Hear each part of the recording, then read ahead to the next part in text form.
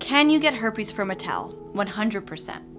And here's how. Herpes is a virus that causes sores on your genitals and mouth. Doctors say herpes can only be transmitted through skin to skin contact. So technically, a towel can't transmit herpes unless it's got some skin on it. Did you know that humans shed a full layer of skin every two weeks? Every 14 days, a human slips out of its skin coat. And what do humans dry their wet, flaky skin on? Towels. But how many of these herpes rich towels could there be in the world right now?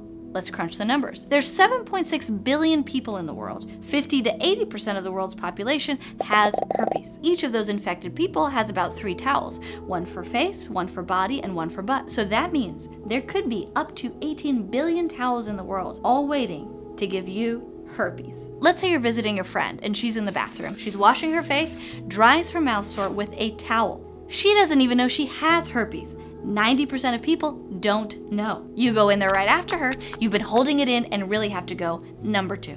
Not a problem, except there's no more toilet paper. She used the last bit. You reach for the only thing left, a freshly used towel. Wipe front, wipe back, wipe out.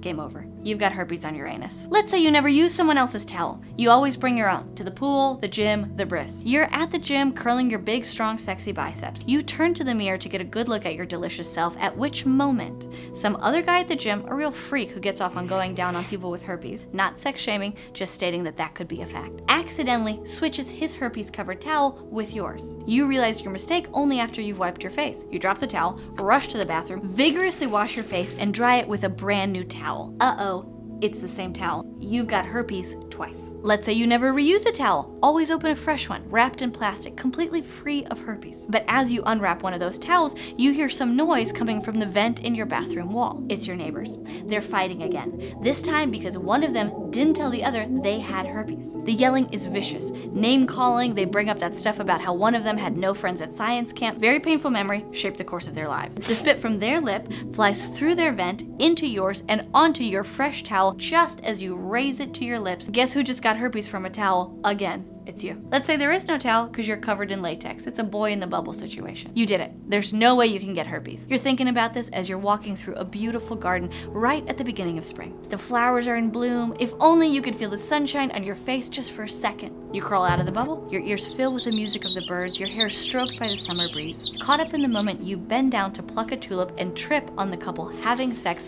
behind the bush on a towel. They both have herpes. Gave it to each other years ago. It's a laissez-faire situation. And now their towel is 50% cotton, 50% simplex two. You fall face first onto their cotton petri dish. You wrestle the towel trying to get back into your bubble, but you're only making it worse. You crawl back in your bubble ashamed. No one's gonna wanna touch you now that you've got the Guinness Book of World Records for most herpes. Let's say you've abandoned society to live deep in the jungles of the Madagascar, but you're being chased by a lion.